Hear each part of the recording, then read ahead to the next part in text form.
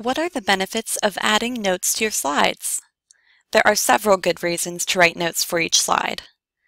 First, you are able to print out your notes with each slide, so if you write notes, you will have the perfect handout to guide you through your presentation.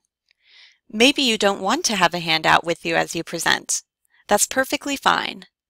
Still, write notes and print them out so that you can have a guide to help you practice your presentation. If you are creating a presentation that you are not going to present live, but will make available to your audience so that they can go through your PowerPoint independently, you can supplement your slides with notes for your audience to read. Think of your notes like a caption. To add notes to a slide, first click the Notes button found beneath the slide. Then click your cursor once where it reads Click to add notes.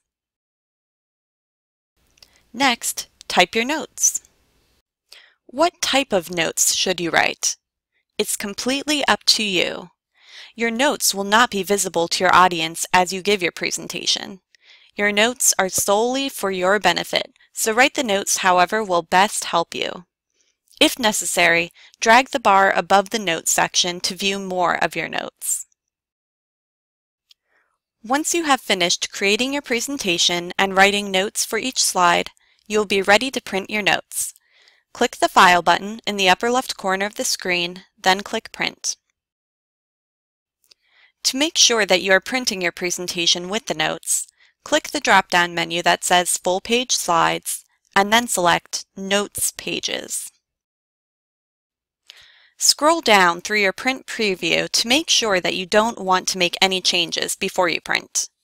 Once you are sure you want to print, click Print. To learn how to create a references slide for APA formatting, watch the next video. If you have questions about creating notes for your presentation, contact the library.